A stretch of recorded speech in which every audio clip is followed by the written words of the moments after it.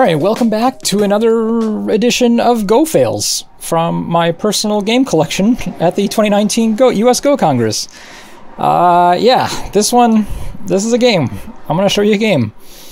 Uh, this is against another four-dan, Sophia Wang, uh, who, I don't know how old she is. She's pretty young, though. Um, so I certainly expect her to be, you know, I don't know, seven dan within a couple of years. Uh, you know, she's just flying through ranks. I think someone told me she was like 3Q last year. So anyway, that's that's that's a special talent right there. So anyway, I get to face her off, and this was round two of the US Go Congress. I am black. Uh, you guys ready to see some Go fails? I want to take that silence as uh, tacit approval. All right, so we play this opening, and uh, this is an opening I've been playing a lot. Not that I've been playing a lot of Go, but when I've been playing Go, I've been playing this quite a bit as black. Just, I just like it. That's all. She comes on the inside. Uh, overall, actually, this was this was a really good game overall. Actually, the fails in this game are not going to be quite so apparent or or violent as the last last game I told you. Overall, this was actually perhaps one of the best games uh, both of us have played. Um, I will try to point out the you know some of the biggest moves that were fails for both players, uh, but it was just a really strong game. Uh, so keep that in mind. Uh, yep, so white, black, uh, kick and play here, and she comes all the way to here. None of this is a problem. I pincer high. The robots are telling, telling me a low pincer is better, but again, not a big deal. The robots really don't want to respond locally. They want a Tenuki, but again, we can't really count that as a fail. This is just slight prioritization disagreement. Oh, I do apologize if this video is a little bit noisier than the other window, the other videos. I'm recording this with both the windows open because it's kind of getting warm in here. And so, yes, there'll be passer walker people walking on by and traffic and all that jazz. So keep that in mind. I apologize. Uh, this is this is this move might look strange, um, but it is the correct move. Um, at least according to the robots. This is uh, there's basically two follow-ups to this formation when you approach it. Uh, white can either attach like that or do this sort of quasi jump. And guess which one's more severe? It's this one. So we play this out. And she plays this move, which is a good move. And my Atari here is good. Her, uh, what's this shape? Kosumi shape, I guess, is really not that good. Um, the robots say that she needs to fight a little bit more strongly here. Um, I didn't really look at that sequence too much. Again, I'm not really focusing on White's failures too much. Uh, but I do take the stone. Um, when I was showing this game to some stronger players, they thought this might be dubious, but the robot actually was kind of okay with it. Um, it's a really big take, because now this is, you know, solid eight points in the corner. And this white group feels uncomfortable. So, I mean, I get a Ponnuki, so that's 30 points. No, it's not 30 points, it's in the corner. Okay, anyway, uh, she comes here, which was a little strange, and uh, I, I back off here. So this is a normal this is a normal reduction slash asking kind of sequence. Um, black hat traditionally really has two responses. Is this to connect here and let white um, make this kind of shape, and black gets to keep the corner territory, and basically white gets a bunch of other liberties and maybe a little bit more eye potential uh, right here and right here. And uh, White's actually not unhappy with this. The, the corner got shrunk a little bit. Um, yes, there are two more stones that black can capture for some extra points, but, you know, pretty good. Um, that's the traditional way. Uh, the robot did not like my way. The robot wanted to be really aggressive and play here, which I did think about. Um, the reason why I didn't uh, is because white has this type of move um, to keep everything separated. Oh, white should run this out first and fight. Uh, basically, white will fight, fight here, and then when all the fighting is done, um, this relationship between this stone and this stone isn't very good. Uh, I, this would actually would be better if it was on the third line, like the robot predicted, you know, 15 moves ago. So that's if you've never seen that before. Um, again, humans have been playing this one for a long time uh, when they want to fight and put pressure on it. This Hane, uh, man, feels really aggressive, but it's what the robots like to do if they're not going to connect. I connect though, and I play, instead of the more traditional one, I play this one, which is a little bit riskier, but white doesn't quite get as nice of shape, and it keeps this peep in reserve for black. And so that's kind of what I'm aiming at. Uh, but hint, Um, my, fir my first go fail for this video isn't just one fail, it's actually a cloud of failure and uh, a rain cloud, if you will, a, a failure rain cloud. Um, and basically, the failure rain cloud is how I manage the shape between the group that's going to come out here and the weak white group that I'm pincering. Uh, there's basically just three essentially shape points that I miss um, and never get to play. And so that's a pretty big, collectively, that's a pretty big failure. If I get zero of those key points, uh, and, and here's the hint, uh, the first of those points is never getting this peep in. That's, that's a big failure. Um, arguably, I could take it right now. And white would be very hard pressed to just give up the two stones. I mean, it's very possible. Um, but this stone is still really functional. Like white feels a little more comfortable, um, but black got even more profit, now has no problems in the corner. Uh, without this, there is a little bit, oops, of uh, an endgame problem, right? Because white has this move uh, to make this go. And so I have to be very careful about my eye space over here because white can uh, essentially take it away. Uh, so that would be a reason why I shouldn't play this one. Of course, um, if I'm never going to get this peep, and I definitely shouldn't play this one. Uh, so that's a failure. So that's a failure. All right, over here, uh, white tries to fix some shape. And I play this move. This is a little bit dubious. It's not the best move in the world. It's not the worst move in the world. It's hard to call it a failure. Um, I think the robot just really wants to extend and fight here to make this cutting sequence really difficult on white. Uh, now white is, has all these cuts. Yes, white can try to countercut. Well, not yet, actually. White can't countercut at all yet. White needs to go one more. Uh, and I don't know what the best shape move is down here, but let's just play some sort of shape. Um, white's in tatters, like like white. White will have this will have to end in some sort of exchange. Um, of course, actually, of course, white will never run that stone out, so that that's kind of a fanciful read. Um, so a little bit dubious, but uh, I don't take advantage of it. I play this slow move instead of this key point. We'll say not quite a failure, but uh, definitely missed opportunity. Uh, again, this is a good opportunity right now for me to peep. And so, yeah, this, this is a cloud of failure how I manage this. This is okay. Uh, probably better just to run this way. Um, white can't really seal me in, right? There's there's a peep and then this cut kind of sequence, um, right? There's there's it's very difficult for white. Um, so running this way is actually not very good. I'm trying really hard to keep them um, separated while my stones get out, but it's, it's kind of a failure. Here I should probably just keep pushing. It's fine. If white cuts, I'll just sacrifice and take all this. So this is a little too defensive. Again, I'm, I'm keeping in mind I want the groups to be separated. Uh, I really want to run this stone out. I want to peep here. I want nobody to have a base. This just digs in a little bit too hard. It's, it, it tells white exactly what I want. So white's going to peep and protect this peep. And this move has the other benefit of, let's say black gets out. Uh, white has moves like this. Um, now to potentially link up later. So this is actually not, it's not, um, you know, fully, actually it, is, it just works. Yeah, it just works. the stone actually can't connect to anything. So in the game, I think I actually, like I thought I could still separate for some reason when she played it, so I wasn't too concerned yet. Um, I didn't realize it till a few moves went by and went, oh, this move is actually just really good. Um, I thought she was just pretending against the, protecting against the peep and making some eye space, but no, it actually connects both groups. Uh, regardless, my group is weak, so I'm just happy to push out, get a little bit stronger. And uh, she quashes that stone. I come on top. Robot's not in love with that move, but um, still feels like it's a good move, right? It's it's helping the weak group. It's keeping pressure on the weak on her weak group. Uh, it's it's not a no value move. It, Center influence. Oh, that was a big truck. Oh, big white truck. All right. Center influence is always good. And, uh, you know, she responds. Uh, here, I play this move. And again, think about this. This is this is my shape problem, right? So, so this cloud of failure. I missed this peep. Um, this move actually is going to leave behind this cut, which will come back to haunt me a little bit later. Um, but right now, it's quite manageable.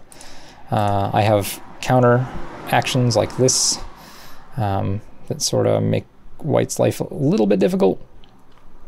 Um, but even then, it's really hard.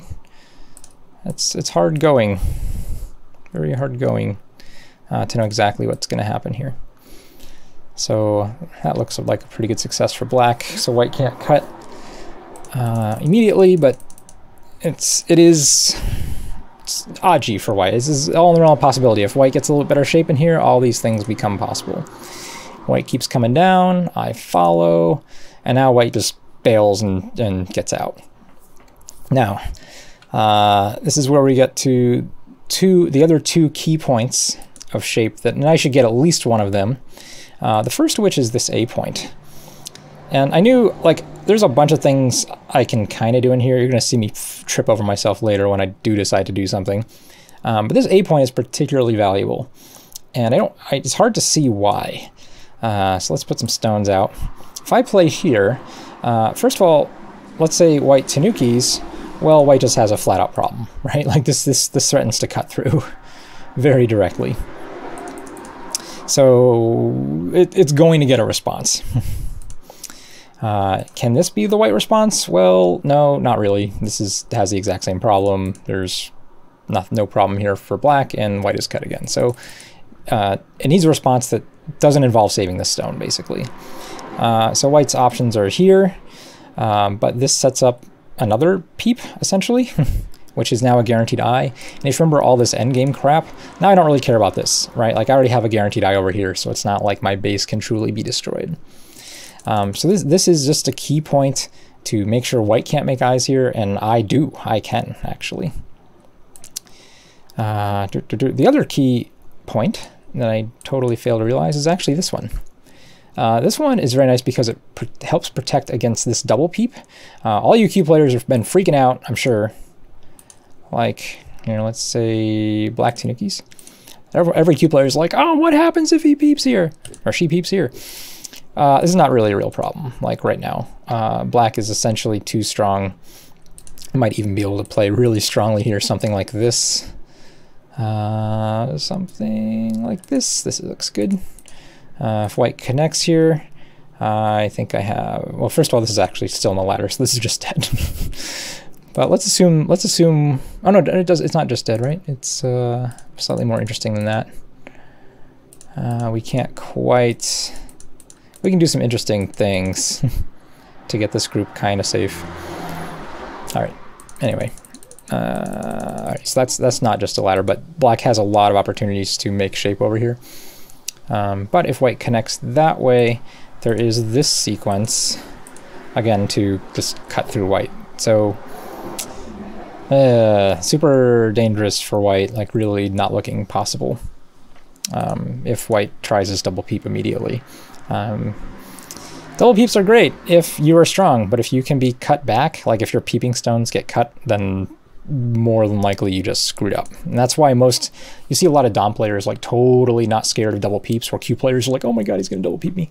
It's because if you actually take advantage of the little peep, your shape is going to suck either so much you won't be able to make eyes and you'll shrivel and die, or black will just cut you cut those stones off in particular and be, you know, killing you. All right, so here, uh, and this is this is this is the moment I'm going to say this is this is the go fail because at this point I tenuki without getting either of these sort of key point moves, and uh, let's just label them just whoops so I didn't get that one, that one was supposed to be mine. I didn't get that one, that was supposed to be mine. And I didn't take that one, that was supposed to be mine. And I'm Tenukiing, right? If I get, oh, let's say two of the three of these, um, this whole thing goes so much easier for me. Um, I'm really in a great position. That being said, I'm not in a bad position. Like I'm actually still very much winning this game. Maybe not very much, but eh, you know, certainly better than maybe 55% winning the game, 50, 60%. Um, but yeah, this, these these little not having these little moves are going to come back to haunt me a little bit. Uh, we play out this quasi little settling formation. Um, and I, I'm treating this like I have a wall here, and so like white can be attacked. She's a little scared. She just keeps running out. These are kind of dame moves, so I'm I'm kind of happy just to be making points on her side of the board. Uh, that being said, um, this move is probably worth a tenuki just to come back and play fix or do any of these shape points. Again, uh, White's group is strong now after this A point. Once it's connected, uh, she can kind of cut and do any sort of reckless thing with abandon. Um, so she does. And uh, here, this is this is a very common sequence that dan players know by rote, and kyu players freak out. You get cut, you can Atari and then extend on the other side. Um, and it puts a lot of pressure on these two stones while you've sort of helped both sides. Uh, and it's not appropriate in every situation. It's very easy to play this when it doesn't work. Um, here, it's okay. It's it's just fine. Um, because after this, you can see I actually get my stick quite far out, and then I can actually link up to my group with this kind of move. Um, that being said, these two stones actually could die. Um, so whoever gets to play another move there, uh, you know, or is incentivized to play, people are incentivized to play another move there. Uh, all right, here we go. This this is the capitulation of failure. Uh, we've already had the moment of failure where I tenukied, but now this is just instead like this is still a good move. Um, the reason why I played this one now is because I thought after this move, well, I don't really care about eye space specifically, so this just capturing a stone isn't big. Um, so let me get something more strong here in terms of shape. But this is this is not a shape. This is this is bad. Because uh, if you see now, white almost makes an eye, and actually is much much stronger. Uh, I play here. This is a good move to sort of save everything. She comes that way, that way, just to tidy up the shapes. And uh, everything everything on the top for black is fine. She takes the biggest point, which is this Hane here. And this A stick is kind of way behind enemy lines. Now it has a million liberties, so it's not in big trouble, but oh god, you do have to worry about it. Um, I also do have this point at B to Atari and um, then play C to make a guaranteed eye and then very strong eye potential here. So again, it's not an imminent danger, like there are definitely countermeasures, but it's a little like I could see a lot of you being scared. All right, black, uh, white, and then I just come here. And so we got ourselves a game. Uh, so far, in general, you know, even though I have this cloud of failure with how I managed between these this weak white group and this group, it's not your true classic Go failure, um, where you just play a move. This is kind of not what you think it does. Well, here we got we got one that's coming up. Your true classic Go failure, because here she plays this one, and this one perplexed me because usually you play this Hane when you're interested in getting both sides. Uh, like you already have a position over here, and you already have a position over here, and you want to build influence on both sides, you can play this one. And I was like, well, you don't have anything over here. Like, what are you doing? Uh, so I just back off, and she plays that one, which was also kind of perplexing. Um, like, it makes sense now, but uh, it wasn't it wasn't a move I thought of when when I was reading out what I thought she would play next. Um, and so I'm like, okay, well, let's cut it. This this is a go failure. This is a failure and go. go fail. Um, I'm still in a good position on this board. This is a really risky fight um, that I'm starting. Uh, it really actually hurts the corner because white's descend at B is more or less Sente. And, uh, you know, she's got this C group nearby, and at some point if I have a weak group over here, I still have a weak group over here, so if she can play in between them, uh, she can attack both groups simultaneously. Uh, this is a real dubious move. Really, really dubious. So, if I wanted to play it, I think the correct time to play it was way back here. Uh, after this Hane, I think I can play here. And if she wants the stone, that's great. Uh, I can, I don't know what I can do. I can come out maybe. I can actually probably just connect. Uh, feels a little bit heavy, but um, I get a free Atari. These two stones are weak. Um, it's it's fine for now. Uh, but other options, if I do this, uh, can I play here? This would be nice. No, I really can't play there. Yeah, maybe I don't, I mean, I don't want even, I don't really don't want to cut. Um, what I should do, like this is fine, this is fine. Best answer, you ready for it? Instead of cutting, just play here. And if white blocks, now I'm perfectly alive in the corner. And white really needs to fix this defect. And how do you fix it? Do you fix it this way? Well, if you do, you st you're still leaving this on the board. Uh, this is still kind of a problem. If you are uh, white, you can still be cut here. If you fix it, uh, let's see, how else do you fix this? Fix it this way. This is a good way to fix, a really stronger way to fix, connect, keep everything connected. but black's going to take some free stuff, and then black's going to be aiming at this single stone over here, either with a move like this, or possibly a move like this, or in even certain circumstances, this kind of peep as well. Probably this is your, you don't really want to play this one because white gets decent enough shape off of it. So it's probably one of A or B. Um, but if white has to connect here, hey, this is a useful stone, this is a useful stone. Maybe we play something like this that helps the center group. And even though white is strong with this stick, you can very clearly see that if um, black were just to get one or two more moves on the outside, the stick's going to feel a little homeless. So yeah, so this, this A, I'm winning this whole game, right? This whole game I am going up and down, but it's always on the winning percentage. Um, I think, pretty sure actually. Um, I think at this point, like it's 90 plus percent win percentage for black. But sort of picking this fight here, oh man, I just threw the whole game into chaos. And again, it's really this move. Once you can see this move, um, how this just gives this white stick just enough liberties to fend for itself, and how now the black corner is dying, uh, you feel really sad. I take some free stuff, try to fix. Now this move by itself doesn't live once white gets strong. Uh, keep that in mind. Uh, white can play here to kill you. so uh, white just gets a little bit stronger. Again, I, I look for some free stuff just to get a little bit stronger here in the center. And I come on top thinking, hey, if white wants to kill me now, that's great. I mean, that's not great, but it's fine. I'll live. I'll, no, I won't live. I'll die. Uh, it's it's palatable um, because if white does this right now, uh, I'm to surround this stick. Maybe I'll even actually uh, play a move, and yeah, I'll definitely play a move. Um, what's the next killing move for white? Is it here?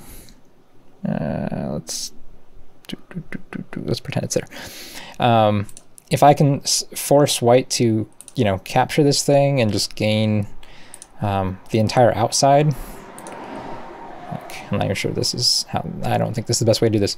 Here, this is, this is hypothetical, right? Real hypothetical. Uh, if I can get all this on the outside and all of a sudden this group feels real good and black's going to make a ton of stuff over here, so that feels good. Like I can, I'm can pretty happily give up this corner if I were to get some sort of outside thickness like this. Uh, so white does not let me. Same deal. I'm like, hey, can I just have some, some of the outside? You can kill my corner. You, I'll, I just want to take some of the outside. No, I want the outside too. Okay, okay. How about how about I'll take even less of the outside, and you can still kill my corner. And uh, she agrees. so that was where the negotiation landed. I play this move just to get more liberties.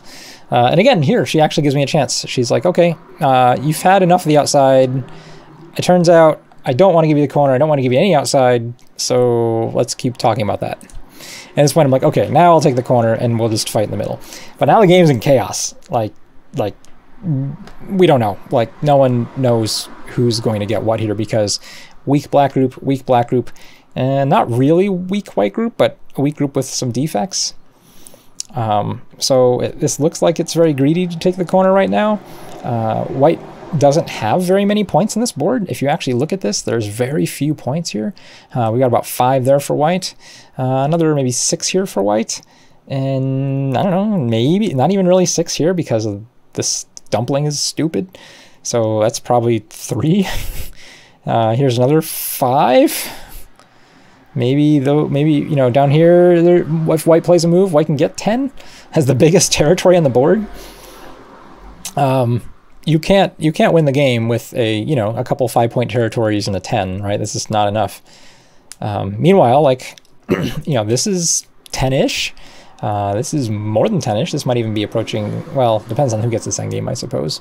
Let's say let's say it's plus 10 uh, this is 10ish uh, maybe more if if black gets to play here first. There's another five down here. So I mean black is coming at more like 35 to 40 points and white's stuck more in the mid 20s. So, I mean, we're looking at a pretty low scoring game right now.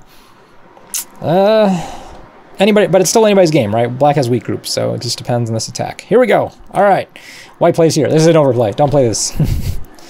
White should so just play something a little more patient.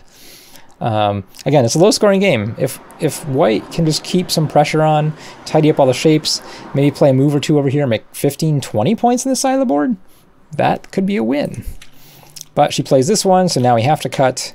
and we're just sort of off to the races. She decides to really fight in the center. She now has a weak group in between my two weak groups. I take a bunch of, right, well, I take one forcing move, and then, even though, so at this point, she's winning the game, right? Like, like, keep, keep that in mind, or at least probabilistically, right? I have territory, but she has an, essentially an attack on two weak groups. That, an attack on two weak groups is worth, you know, let's say 30 points, um, uh, because she only has one weak group.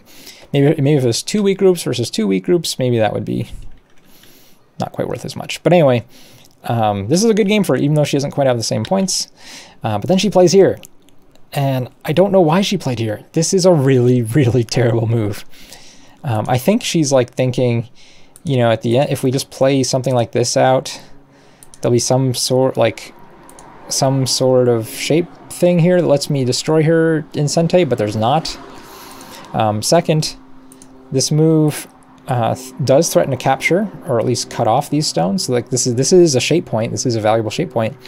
But I have a moment to respond. It's like if you play a stone, I get to play a stone. And so, uh, is that not the game? I did I mess up the game? Yeah. So I just I just respond here.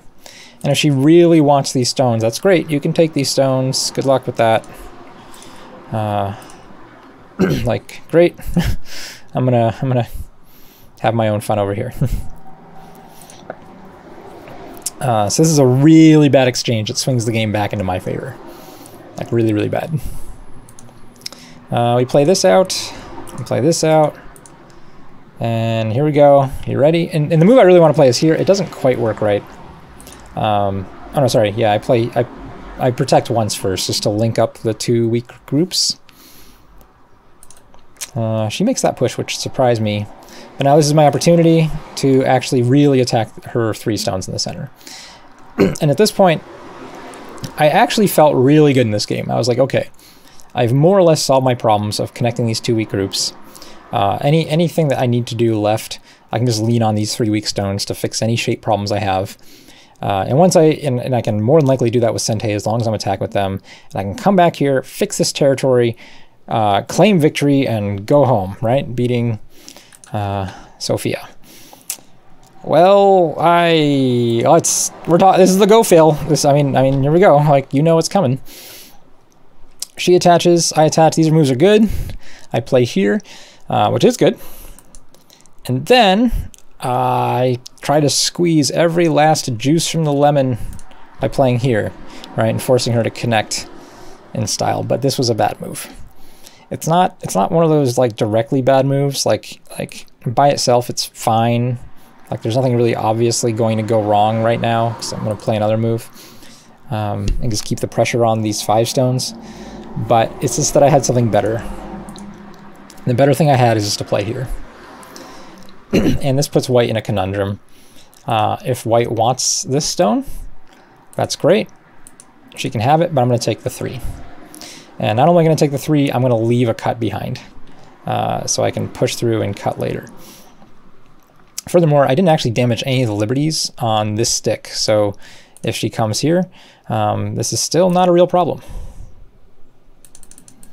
So even though I don't get any points over here, I don't die, um, I get to kill some of her, she still has a problem, and uh, you know, everything is good for me, like everything is going fine. Um, I'm a little bit worried about this move, but I'm not sure why the robot wasn't. and I forgot to look it up before I started this review. I wonder if I can actually find two eyes in here. It looks like I can only find one eye.